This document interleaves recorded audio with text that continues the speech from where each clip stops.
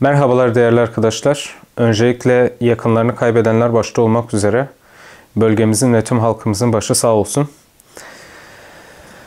Biliyorum yani herhangi bir e, elimizde güç yok ki bütün yaralarımızı sarsın, bütün her şey bir anda yok olsun, bir anda bitsin. Fakat e, değerli arkadaşlar şunu farkına varmamız artık gerekiyor ki ülkemiz bir e, deprem ülkesi. Deprem her an olabilir. Hatta yani ayın altısında başımıza bir felaket geldi ve şu an bu videoyu çekerken ayın 20'si yaklaşık bir saat önce bir daha deprem oldu. Depreme hazırlıklı olmalıyız. E, depremiz, depreme halkımızın her kesmini A'dan Z'ye kadar bütün organlarını açıkçası hazır hale getirmemiz gerekiyor. Ne yazık ki arkadaşlar e, doğal afetler olabiliyor. Yani olacak da hatta işte kader diyorlar fakat yani evet doğrudur bence de kader.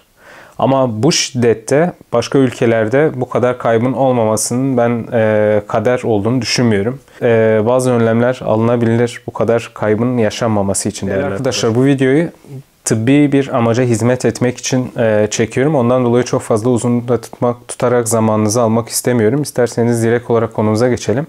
Konumuz öncelikle afetzadelere, afetzedelere e, ilk yardımda yaklaşım ve crash sendromunu ele alacağız. Bunun yanında kompartman sendromuna da değineceğiz. Ee, bu video öncelikle e, şunun ben farkındayım. Asla yanlış anlaşılmasın. Bölgede ve sahada çalışan arkadaşlarımızın illaki zamanı yoktur. Fakat e, ola ki daha ileriki dönemlerde de herhangi bir tıp fakültesi öğrencisine ufak bir katkısı bile olabildiyse ne mutlu ki bana. Bu sebeple çekiyorum değerli arkadaşlar bu videoyu. İsterseniz direkt olarak konumuza geçelim. Evet arkadaşlar öncelikle enkazdan çıkarılan afetzadeye ilk yaklaşımla başlayalım. ABC kontrolü sağlanmalıdır değerli arkadaşlar. Zaten E bildiğiniz üzere Air'den geliyor.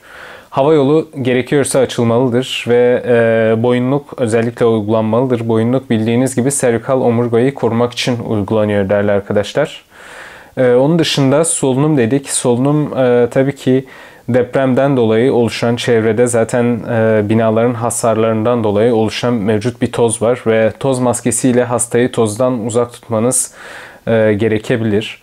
Onun dışında entübasyon enkaz alanında e, zor olabilir değerli arkadaşlar. Steril bir ortam oluşmadığı için e, aynı zamanda oluşan kargaşadan dolayı da zorluklar yaşanabiliyor. E, bundan dolayı entübasyonu genellikle biz e, ambulansta gerekiyorsa veya e, hastanede yapılmasını öneriyoruz. Oksijen yani güvenlik gerekçesiyle verilemeyebilir. Çünkü aynı şekilde patlayıcı bir e, madde olduğu için oksijen daha farklı hasar da verebilir hem hastaya hem çevreye. Onun dışında değerli arkadaşlar kaburga kırığı olanlarda analjezi yapınca bu işlem kesinlikle nefes almayı kolaylaştırıyor. E, bunu da, da değinelim. Onun dışında arkadaşlar e, dolaşım dedik. Zaten S circulation'dan geliyor. Dehidratasyon ve hipovolemi önlenmelidir değerli arkadaşlar, değerli meslektaşlar. Kanamaya dikkat edilmeli. Damar yolunu açmanız gerekiyor ve duruma göre tabi verilecek sıvı volümü maksimum tutulmalıdır. Çünkü e, gideceğiniz en yakın hastane, nakil edeceğiniz hastayı götüreceğiniz en yakın hastanenin uzak bir nokta olduğunu düşünürsek vereceğiniz volüm maksimum tutulursa çok daha iyi olur. Nörolojik değerlendirmeyi e, yerinde yapmanız gerekiyor arkadaşlar. Tabii ki bu uzun dönemde farklı farklı aşamalarla da değerlendirilebilir. Onun dışında e, hipotermiyi engellemek için zaten afetzadenin üstünün örtülmesi gerekiyor. Fakat örtülünce e, yaralanmaların da gözden kaçınılmaması gerekiyor. Bundan dolayı aynı zamanda e, hastaya ekstra bir gözlem yaptıktan sonra e, hastanın üstünün örtülmesi tavsiye edilir. E, gelelim arkadaşlar daha sonra e, hastayı hospitalize ettikten sonra oluşabilecek crash sendromuna e, geçelim. Crash sendromu arkadaşlar nedir? Özellikle afet bölgeleri, endüstriyel kazalar ve savaş bölgelerinde sıklıkla meydana gelen uzun süre hareketsiz kalma, darbe alma, ezilmeden dolayı oluşan kas ve iskelet sistemi başta olmak üzere multiorgan ve doku hasarı durumudur. Ee, Tabi bunları anlatırken değerli arkadaşlar etiyolojiye de değinmiş olduk. Ee, şuna gelelim. sağlıklı bireylerde kas dokuda bulunan protein ve iyonlar ve kas dokusunda bulunan toksik kas hücreleri komponentleri travma ile birlikte kas dokusunun dışına çıkıyor değerli arkadaşlar ve dolaşıma katılıyor. Özellikle kalp ve böbrekte birikimiyle birlikte e, hedef organda hasara sebep oluyor. E, kas kütlesinin ezilmesi, rabdomiyolozis ve miyoglobinuriye ile sonuçlanmaktadır. E, buna değinelim özellikle değerli arkadaşlar ve crash hasarları daha çok tabii ki alt ekstremitelerde de görülmektedir. Bilmekte yine fayda var. Patojenize geçince arkadaşlar e, yumuşak doku hasarı oluşuyor dedik ve yumuşak doku hasarıyla birlikte iskemi oluşuyor. E, iskemiyi biz burada aslında ikiye ayırıyoruz. E, öncelikle kas nekrozuyla başlamak çok daha mantıklı olur. Çünkü kas nekrozu biz 4 aşamada inceliyoruz. Fakat aslında buraya 5. olarak kompartman sendromunu ekliyoruz bizler. Birincisi rabdomiyonozis bahsettiğimiz gibi işte miyoglobinuri gözlemlendiğinde akut böbrek yetmezliğine kadar gidebiliyor. Özellikle burada dark urine dark urination dediğimiz olay yani idrarın kara olması arkadaşlar ayrıca tanıda işimize yarayabiliyor. Onun dışında değerli arkadaşlar sıvı kaybı, metabolik anormallikler ve DIC sendromu e, olarak karşınıza çıkabiliyor. Sıvı kaybı özellikle hipovolemik şoku tetikliyor arkadaşlar. Bu da bizi akut böbrek yetmezliğine götürüyor ne yazık ki. E, metabolik anormallikler oluşabiliyor. Bu da e, kalbi etkiliyor en fazla ve ventriküler fibrilasyon oluşabiliyor. DIC de zaten koagülasyon yetersizliği. Da sizler farkındasınız.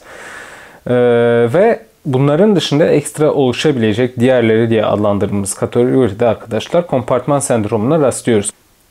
Kompartman sendromuna değerli arkadaşlar değinecek olursak mikro sirkülasyon etkileniyor ve oluşan ödem ve e, kanın basıncıyla birlikte e, ne yazık ki bölgede bulunan sinirler ve kaslar irreversible hasar görüyor arkadaşlar ve bu hasarı işte e, kompartman sendromu olarak adlandırıyoruz.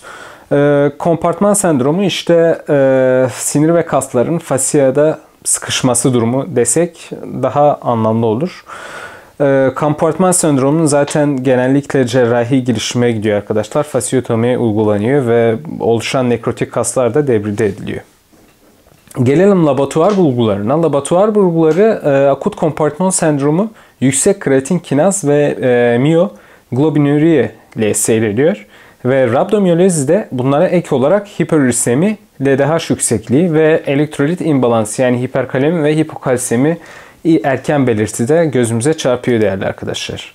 Klinikte peki biz bunu nasıl görüyoruz? Akut böbrek yetmezliğiyle hiperkalemi, asidoz, solunum güçlüğü, e, daha sonra solunum yetersizliği, dark urine discoloration dediğimiz yani idrarın kararması, daha sonra arkadaşlar e, hipotansiyon, kardiyak aritmiler, hipotension, e, hipotansiyon, kalp yetmezliği, şok ve DIC olarak devam ediyor arkadaşlar. Oliguri ve anüride akut renal tahribatı beklediğimiz belirtilerdir. E, aynı zamanda non-spesifik semptom dediğimiz işte bildiğiniz gibi ateş, halsizlik, iştahsızlık ve de kusma takip ediyor. Gelelim arkadaşlar tedaviye. Tedavide e, iki şekilde yaklaşıyoruz. Bir sıvı takviyesi, normal salin uyguluyoruz arkadaşlar. Ventilasyon desteği, metabolik asidozu düzeltme ve diyaliz diye devam ediyor. Cerrahi girişimde ise arkadaşlar bu daha çok tabii ki kompartman sendromu için e, bizi ilgilendiren bir durum. Acil bir fasyotomi yapılması gerekebiliyor ve Oradaki nekrotik kasların debride edilmesi gerekiyor arkadaşlar. Çıkarılması gerekiyor. Ee, onun dışında tabii ki bölgeye vacuum associated closure dediğimiz teknikte uygulanabilir. Bana zaman ayırdığınız için değerli arkadaşlar çok teşekkür ederim. Sorularınız olursa veya eklemek istediğiniz, paylaşmak istediğiniz herhangi bir video olur, herhangi bir bilgi olur, herhangi bir kaynak olur, paylaşmak istediğiniz bir yayın olur. E, mutlaka ben bekliyorum arkadaşlar. Bu videonun altına yorum olarak da yazabilirsiniz. Bana mail olarak da gönderebilirsiniz. Onun dışında e, hekim olmasanız bile çevrenizde hekim arkadaşlarımız varsa bu videoyu da iletirseniz e, ben memnun olurum. Dolaylı olarak da olsa arkadaşlar herhangi bir arkadaşımıza, eşimize, dostumuza bir şekilde katkım olabildiyse ne mutlu bana değerli arkadaşlar. Kendinize iyi bakın. Ee, sizlere iyi günler diliyorum. Tekrardan herkesin başı sağ olsun. Ee, kendinize iyi bakın. Sağlıcakla kalın değerli dostlar.